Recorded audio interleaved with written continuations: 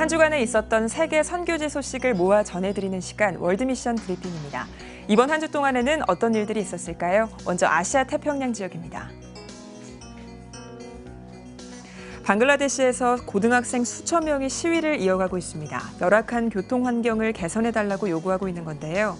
이번 시위는 지난 7월 29일에 10대 학생 2명이 과속버스에 치여 숨지는 사건이 발단이 돼 시작됐습니다.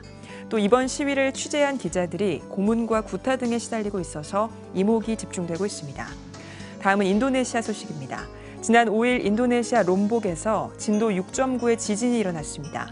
이번 지진으로 400명에 육박하는 사람이 숨졌는데요. 이 외에도 15만 6천 명이 넘는 이재민이 생긴 걸로 확인됐습니다. 인도 소식도 살펴보겠습니다. 인도의 수도 뉴델리는 대기 오염이 심각한 걸로 알려져 있는데요. 인도 의회의 상임위 보고서에 따르면 5년 동안 공기오염 때문에 생긴 급성 호흡기 감염으로 사망한 환자 수가 1000명이 넘는 것으로 확인됐습니다.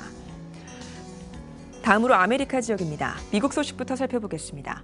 미국 국립기상청은 하와이주의 초강력 허리케인인 헥터가 상륙할 가능성이 있다고 예보했습니다. 이에 하와이 섬 당국은 허리케인에 대비하기 위한 대책을 마련하기, 마련하고 있는 것으로 확인됐습니다. 이어서 브라질 소식입니다. 브라질의 북부 호라이마주가 베네수엘라 난민들이 들어오는 것을 막기 위해 국경을 폐쇄했는데요. 이번 국경 폐쇄는 하루에 약 800명씩 들어오는 난민들 때문에 범죄율이 급격히 높아졌다는 이유로 이뤄진 것으로 전해졌습니다. 페루 소식도 전해드리겠습니다. 지난달 31일 페루의 세계적인 관광지인 마추픽추 인근에서 관광열차 두 대가 충돌했는데요. 이 관광열차에 탑승한 한국인 35명 가운데 4명이 가벼운 찰과상을 입은 것으로 확인됐습니다. 마지막으로 스웨덴 소식도 살펴보겠습니다.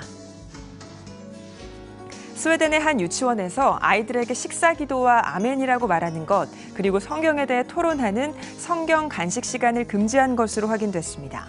스웨덴 교육법은 아이들에게 종교적인 활동에 제재를 가하거나 강요하는 행위를 금지하고 있는데요.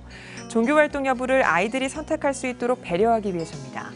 미국 크리스천 데일리에 따르면 논란이 된 유치원의 원장 브릿 마리의 마르탄소는 식사 기도가 교육 범주에 해당되지 않는다고 판단했다고 설명한 것으로 확인됐습니다. 지금까지 월드미션 브리핑이었습니다.